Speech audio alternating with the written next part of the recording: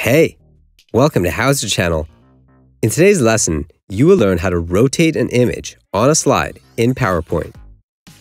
Open PowerPoint. Go to Insert tab. Click on Pictures. Select the image you need and click on Insert. Resize and reposition the image if needed. Go to Format tab. Click on Rotate at the top panel. You will see a list of options. Rotate right 90, rotate left 90, flip vertical, and flip horizontal. Choose the option to apply it to the image.